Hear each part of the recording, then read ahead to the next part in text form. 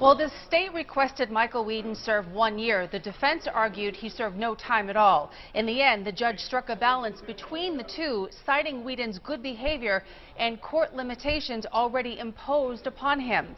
Weeden's family visibly upset as he was put into handcuffs. His father asking the court for leniency, saying his son could have been president one day. But now his political future is ruined. The victim also spoke to the judge prior to sentencing, saying that she lives in fear. Michael Weeden did apologize.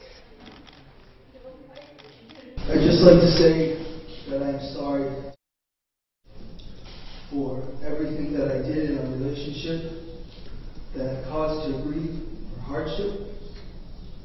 Um, I hope that she can find closure from this process. The state certainly felt it was appropriate for Mr. Weeden to be serving time based on the nature of the offense. Uh, this is an offense that carries a maximum sentence of 10 to 20 years at the New Hampshire State Prison because it involved the use of a firearm. Weeden's official sentence here is one year with six months suspended. He will also be on probation for three years. Live in the newsroom, Jennifer Vaughn, WMUR News 9.